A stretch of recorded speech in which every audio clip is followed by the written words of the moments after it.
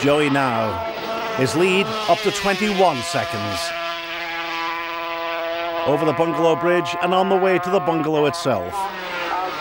Lee Pullan, number 21, takes his machine through Ramsey. Sixth place for him, but James Courtney now ahead of Mark Baldwin. Well, Mark has had his win. Perhaps it's affecting him a little bit now. He's in ninth position, and here's Joey about to lap number 70, David Betteridge. It won't be long before he passes him. And Gavin Lee is having a brilliant ride.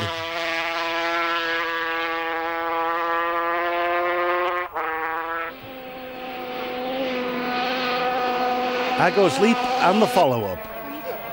Ian Duffus comes down to the Nook and Gavin Lee is fast closing on him. Gavin Lee is now up to third position. James Courtney still holding on to second.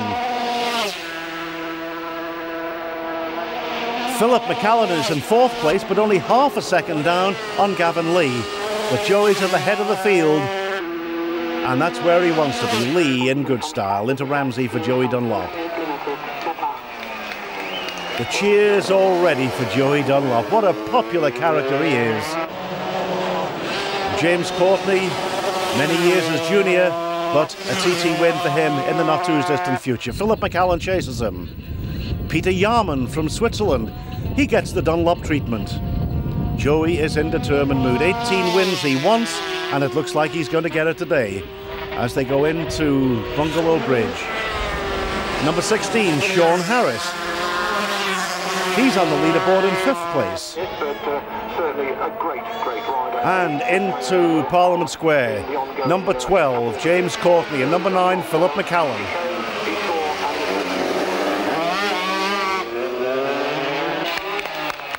The cheers for Joey Dunlop.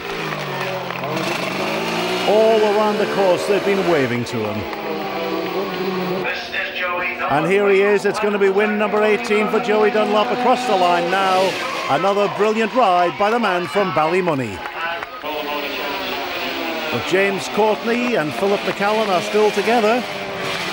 Now, has that little dice that McCallen has been having with Courtney robbed him of his third place because Gavin Lee would have clear roads, Courtney finishes, and then Phillip McCallen finishes.